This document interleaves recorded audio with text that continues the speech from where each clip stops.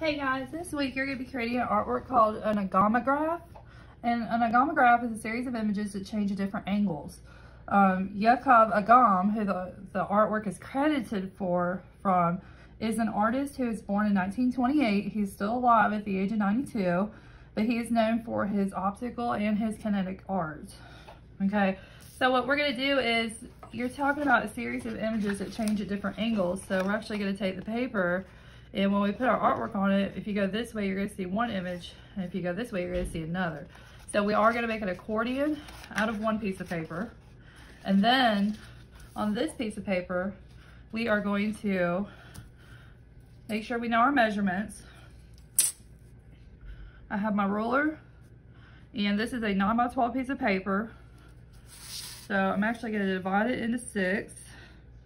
I want to make sure my line is straight. So I'm going to draw a line down, a line up here, and a line up here. So that way I can take my ruler and put it right here, up here at the top and at the bottom, and I can go straight down. So we are going to make two images, but this image, this is going to be one image, this will be another. So they're not that different. You do want to make sure that your images go this way and not this way. Okay? All right. So to make the accordion, I'm gonna set this aside. To make the accordion, you're gonna take another piece of paper that's the same size, and we're gonna go nine by 12. We're gonna fold it in half. Make sure to, what I do is I put my finger at the top corner, and I wanna make this crease. All right, so that's in half. Then we're gonna fold it in half again. Make sure there we go. Hold on tight because the more paper you start pushing together or holding together, the more it can slide. So I want to make my, make sure I make my creases. I'm to take my paper again. This time you want to make sure you hold on to it. Let's see if it'll be easier to go this way. We're actually going to fold it in half one more time. Yeah. All right. Hold on to it. Crease it. And if you notice, I'm like pinching it at different edges, that way I know I have a firm grasp on it. Then I'm gonna hold it down, I'm gonna take my thumb, and I'm gonna make sure I have my crease. So when I open it, I wanna make sure I have one, two, three, four, five, six, seven, eight. I have eight panels, okay? All right, now to make this an accordion, I wanna take it, we're gonna fold it, we're gonna roll it this way, Take it, fold it this way, fold it backwards, and we're just gonna keep flipping it and folding it so that way we know we have the accordion. All right. Here we go. So when I open it, you can see that it has the accordion look to it. Okay. All right, so there's my accordion, and we're gonna come back to this in a second. Remember, pause the video if you need to, okay? All right, now, you can, and I'm actually gonna go ahead and do this because I know me, I can get a little bit messy. So if I start drawing over here, painting, which you're gonna have the option, you can do watercolor or color pencil, but sometimes I get my materials on this side too. So, but you can leave it, create your two, two ideas, and then cut it in half, or you can cut it in half in advance and don't accordion this. You want to wait till after you're done before you cut it. Okay. So on one image, I want to do a nighttime scene. And on the other image, I want to do a daytime scene. So it's really up to you, but try to think of doing two opposites. So maybe if your mind is going compositionally, you want to do something good and something dark, you can. Remember, stay in the realms of the classroom. That's up to you, okay? So something bright over here, something using dark colors over here. So simple would be, I'm gonna create a daytime or a sunset landscape. And then over here, I'm gonna create something with nighttime. Okay, so there we go. Now I may, I'll post another video that I found on YouTube that shows an example, but um, this is where um, mine's gonna come into play.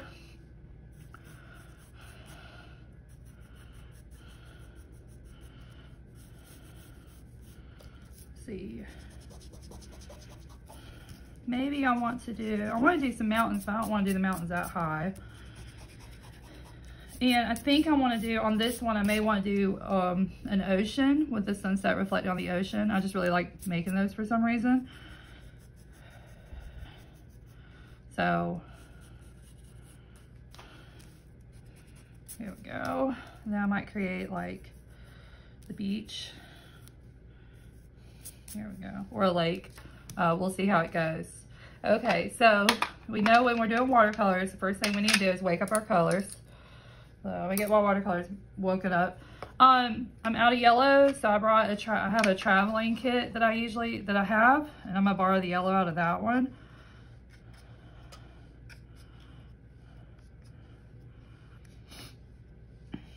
I'm gonna go ahead and wake up all the colors because I'm gonna need all of them. And there's my yellow. I don't know if you can see it. Here it is right here. It's my traveling. It's something I bought when I was in college. Um, I use it sometimes, not a whole lot. I actually like the the watercolors that we use in class from uh, the Crayola set better. That's just my preference. All right, let's see. All right, I want to start with the background. So I kind of want to go with some yellow.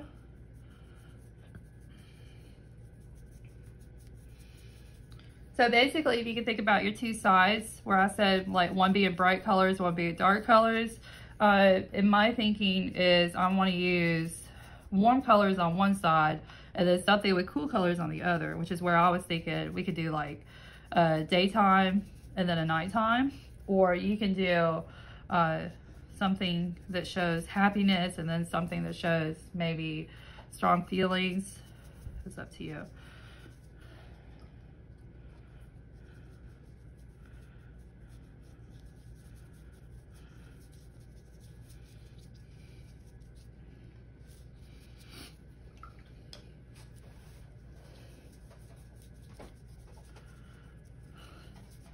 I like to do my skies and washes.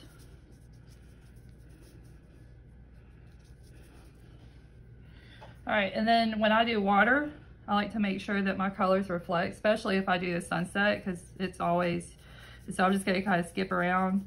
Um, I don't want to be completely strong because I am gonna add in a little bit of blue.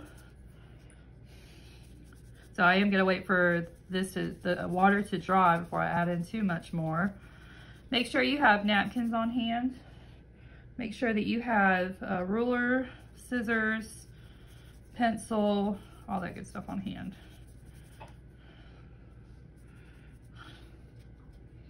Um, one of the reasons why I chose to do a beach scene is because I've had students that have said, you know, hey, I don't know, really know what to do for sand if I chose to do beach. Uh, so I kind of want to show you. So we're going to take some brown some yellow. I just want to use that to lighten my yellow. I'm going to take a scrap piece of watercolor paper. I want to test out my colors that I want real quick. So I don't want that. That looks like it's got blue in it. So I probably may not have rinsed my brush out all the way. All right, that's too yellow. There we go. There we go, I kind of like that. So I'm gonna add just a little bit extra yellow. All right. Maybe. Mm -hmm.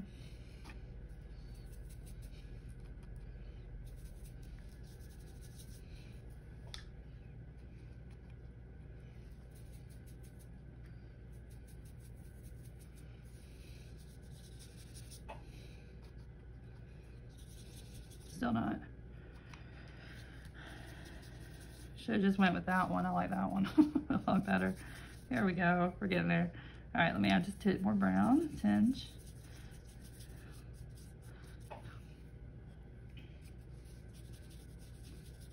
There we go. We'll use that. I like that. Okay. And I kind of want to go light with it because it's up close. So, um, there we go. Slide this back.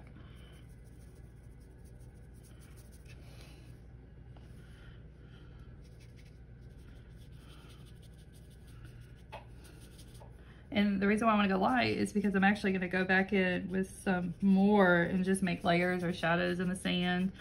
And then, and right now it just looks like I painted shapes. So I want my water to just kind of overlap a little bit.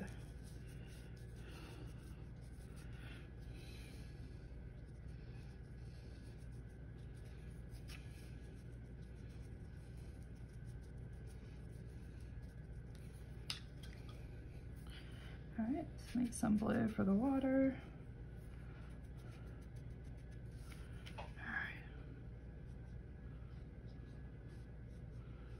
I'm just gonna kind of skip it. Yeah, we'll say it's a lake because I'm not really making waves. And I want to make this blue overlap this line. And then where I made those strong lines, I'm actually going to take my brush, dip it in water, rinse it off, dab it on my paper towel, and then just kind of spread it around. So that way the lines don't look real strong.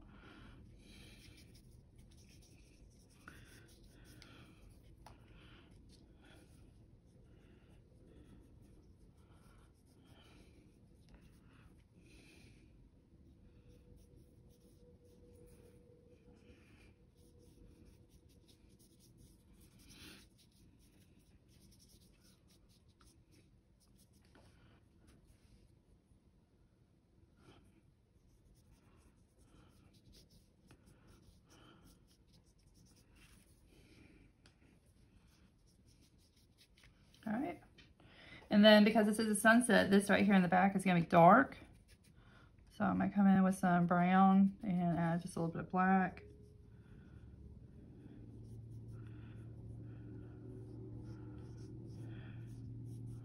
And we do want this to reflect too. So I'm going to go ahead and reflect it while the water is wet.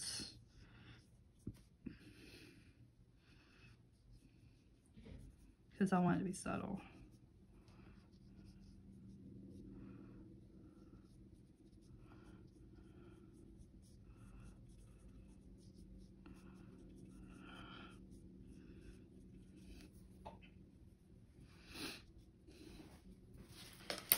Alright, this is why you need paper towel at hands. Sometimes you need to kind of just fix some things.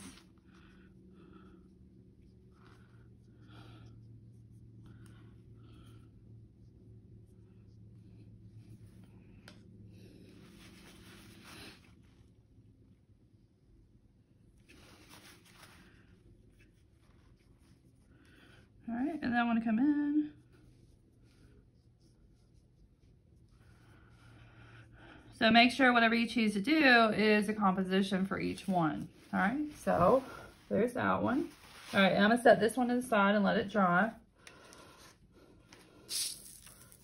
Make sure you lay it flat. Now, you remember again, you can use color pencils or you can use watercolor on this. So if you're tired of um, watercolor, you can use color pencil. All right, so I'm gonna put that over. And it's okay, this right here, I'm gonna paint over it, so it shouldn't be a problem. All right, um, this one I'm gonna go ahead and do water too, since I did water on the other one. This I'm gonna do higher mountains on this one. So I wanna make it more nighttime. Um, let's see. Here we go, kind of like that. So I'm gonna do a river, darker colors. Um, yeah. All right. Start with my sky. So I'm gonna go black with some blue. Might add a little bit of purple. Oh yeah. I think purple would look really pretty.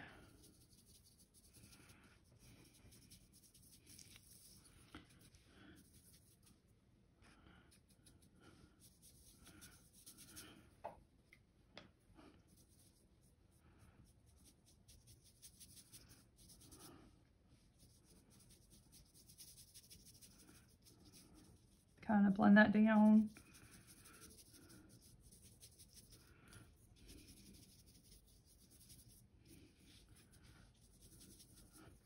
Add a little bit of water. Remember when you're painting with watercolor, the more water you add, the lighter the color. The less water you add, so the more paint you use, the darker the color. So if you, especially if you're wanting to do like a blend or an ombre, you really want to make sure that you're using the idea of, and I may paint, splatter some stars on this. Go, yeah, like that. Especially with the purple being in the corner.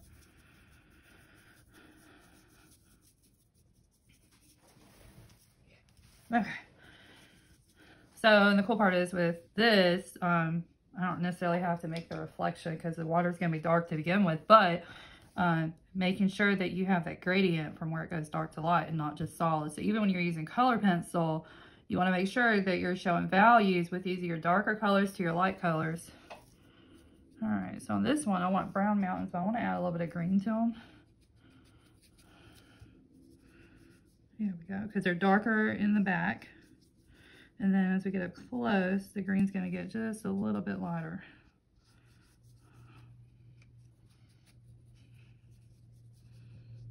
And this mountain is further back, so I want this one to be just a little bit darker.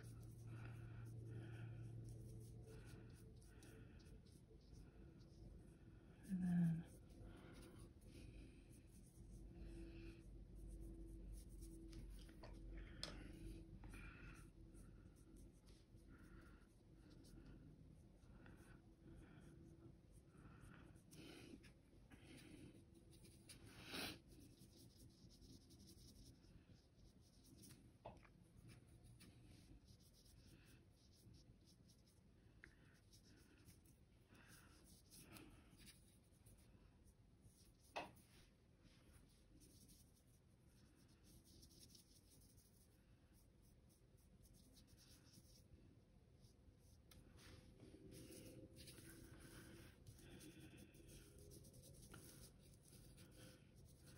Then with my landscape being, this being further back, I still want that green to be dark.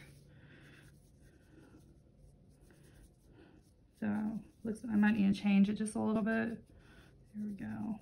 Because I don't want my green blending in with my mountain, if that makes sense. So I just want to use dark green.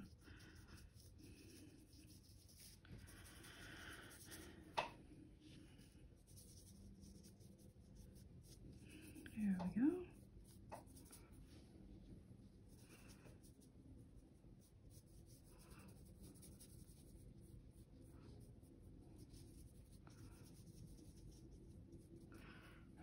put some up here because this is too light.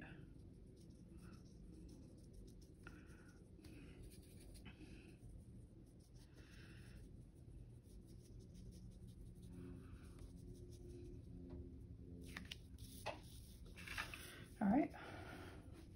And then I'm gonna go back to my blue.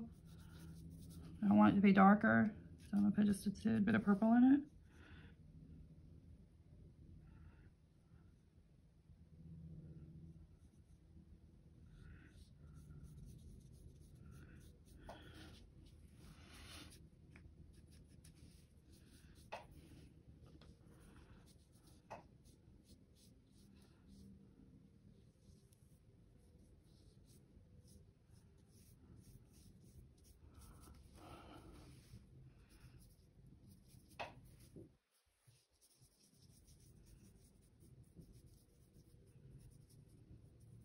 Here we go. But you don't even see those dots that were on this piece in the beginning. All right, so we want to wait for both of these to dry. All right, and so if I put them side by side, I didn't really mean to make that happen. The, the horizontal lines match and the mountains match on that side. But if I take my piece of paper that I made the accordion fold on and stretch it out, it's the same size, okay? So when this dries, we're gonna come back to it and we're gonna cut it and we're going to cut an inch and a half measurement. So if we take the fold, the fold that we made, and we put it on there, we have an inch and a half, okay? So also make sure that we have glue on hand, and um, liquid glue is fine too. Glue stick should be fine. We will find out, all right? All right, so we're gonna let these dry, and I'll be back in just a little bit. Let me slide. There we go. Hey guys, okay, so the artwork is dry and I went ahead and drew out the lines, but I'm going to redraw them out to show you. But you are going to be dividing these into four sections. All right, so I'm going to move these over. All right, so the way I have this set is when you cut it in half, you're cutting a 9 by 12 and a half, so then you're having a 6 by 9. So we're going to put measure line at 1 and a half, 3, 4 and a half, 6. All right. Slide your ruler down. This is what we call measure lines. One and a half, three, four and a half, six. And then you take your ruler and make sure you use the zero of the ruler. So make sure that the ruler is on the zero when you measure out, okay? And then that way you know that when you slide down, you're on the zero. and you have it matching. All right. All right. So then you take your ruler and you're to go put it on this measuring mark to this measure mark, draw a straight line. And then you're to do the same thing with each one. And that way you have your line straight. Please do not put your measure marks at the top and then think I'm to draw a straight line and it's crooked. Okay, you want measuring marks at the top and the bottom. So that way you know that you're making a straight line. All right. Then you're going to take each one of these. You're to flip your paper over on the back. And on this one, I put the measuring lines on the front. I'd probably recommend you put them on the back. That's just something I did. But you're going to mark your first one, A1, A2, A3, A4. So then the second one is going to be measured B1, B2, B3, B4, so you know. And this one, I put the lines on the back, okay, after I realized I should probably put the lines on the on the back. Okay, so as long as you're a precise cutter though, it should be fine as long as you have them labeled, okay? And the cool part is, is now that they're labeled, I can actually take this, flip it over, and it all makes sense.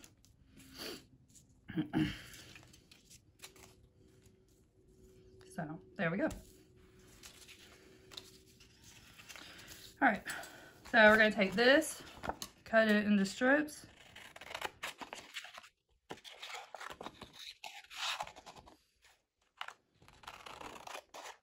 Make sure you're staying on the line, especially if you're like me and you drew the you drew the line on the front instead of the back.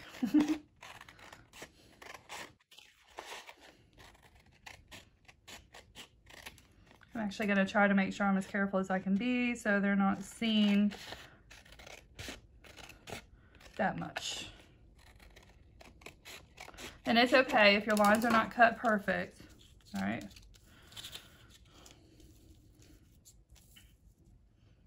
All right, so there's that one. And I have this one.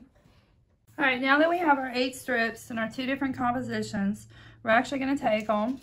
You wanna make sure that they're labeled right. A1, A2, A3, A4, and then your second one, B1, B2, B3, B4, okay? So we're gonna take those aside, move them over. We're gonna take our accordion paper. Remember, it's one and a half inches. I'm actually just gonna flip this over. And we're gonna go AB, but we're gonna go A1, B1, whoops, A2, B2, A3, yeah, B3, A4, and then B4, all right? So, starting with A1, we're gonna take our glue and try this with glue stick, and if this don't work, we'll use liquid.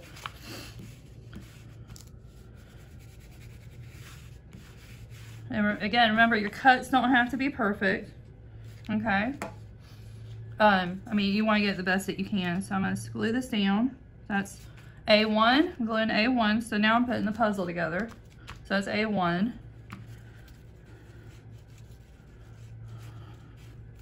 And now I'll look for B1, which is right here. So B1, I want right here. Okay, now I want A2. All right, there's A2, and I'm also gonna go ahead and look for B2.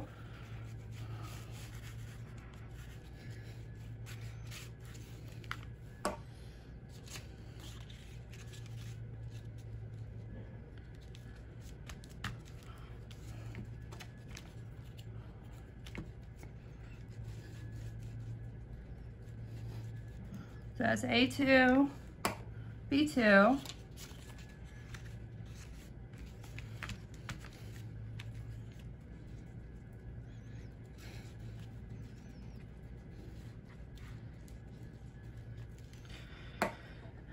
And then I want A3.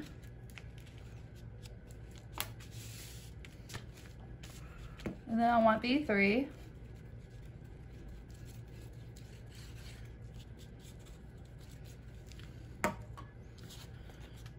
All right, and then my two last ones is A4.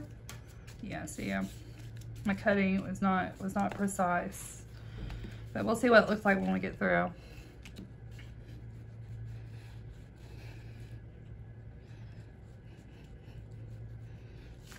I'm gonna go ahead and glue this on as well.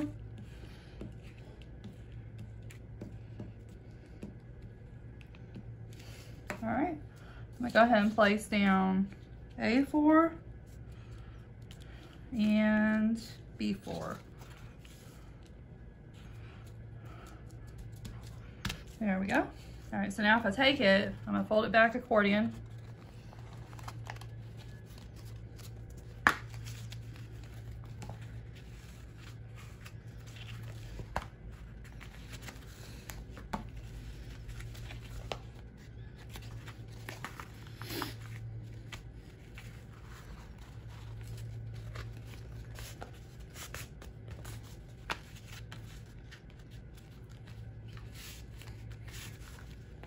Might have to make sure to recrease some of your folds because of the glue. Here we go. I'll let that one hang around. All right. So there it is. And I'm actually gonna take this and glue it onto another piece of paper. So what it's gonna do is when you look at it this way, see if you, yeah, you should be able to see it. And then you see one painting, and then if I turn it this way, you're gonna see another. So, and that's what we call the effect. Okay. All right. So, um, I'll show you a picture in just a second of it glued and dried and stuff. So, but there you go. And make sure if you need help, let me know.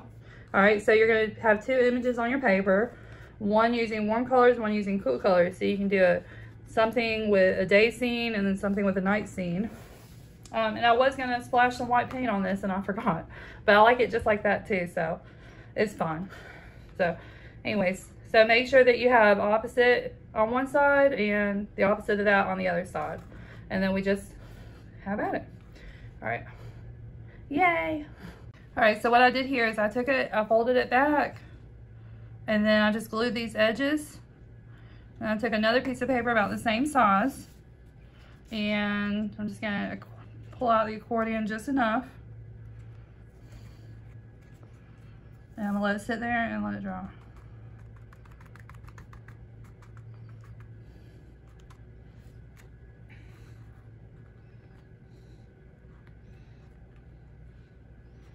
There we go. All right. And that's what it's gonna look like. I think it's probably too soon to, to lift it up and show you. so we're just gonna let that dry.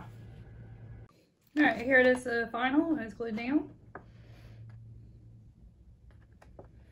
As you can see when you, so if it were in the, on the wall, if you walk by it, you'd see one side and then you can see another. All right. All right, so have fun. Um, remember, if you need help, let me know, okay?